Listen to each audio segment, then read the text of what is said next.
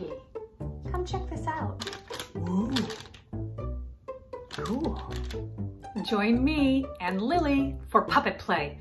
Together, we'll find objects around our homes and turn them into interesting puppets. Like Sock puppets and shadow puppets. Uh, hey, Spanky. Looking good.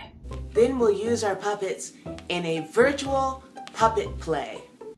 Has anyone ever told you you look exactly like a pot holder?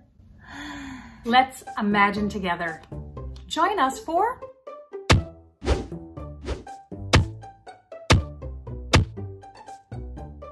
Hey Lily, you want to come up? I, I I feel a little uncomfortable here by myself. But you're doing really good.